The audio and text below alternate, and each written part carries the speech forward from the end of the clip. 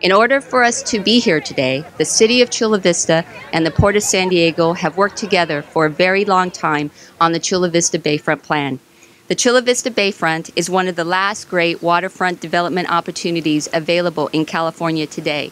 Its successful development will create a legacy destination place for the public, countless job opportunities, and increased revenues for the port, Chula Vista, and the entire San Diego region.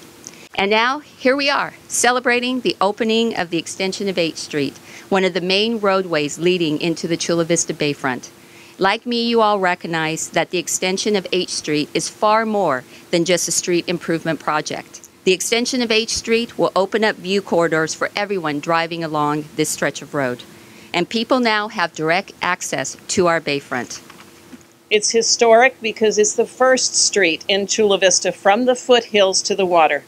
It's a gateway to future hotels and a conference center, and it's significant and visible progress after years and years and years of diligent planning. As Commissioner Moore said, these are this road will lead to enhanced opportunities for recreation.